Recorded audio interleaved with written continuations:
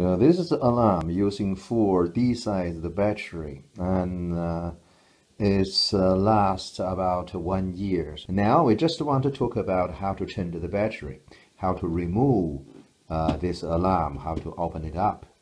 So when it's installed on the wall, there's one screw here. You just use a cross screwdriver.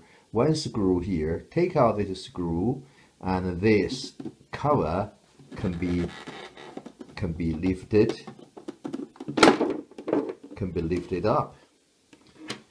So we have two boxes. This box is the control unit. You see the lot of wire coming out from this box. And this is another box is the battery box. You can see there's just red wire and a black wire coming out. To change the battery, remove this uh, four screw. So, so after four screw uh, removed, so we can just uh, lift this box out. There,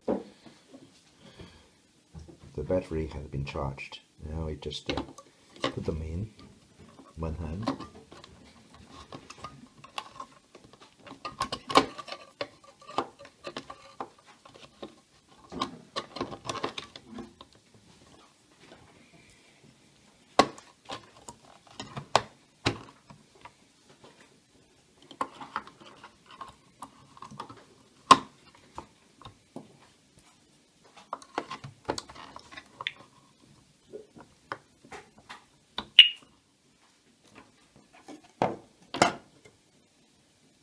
Put a cover on.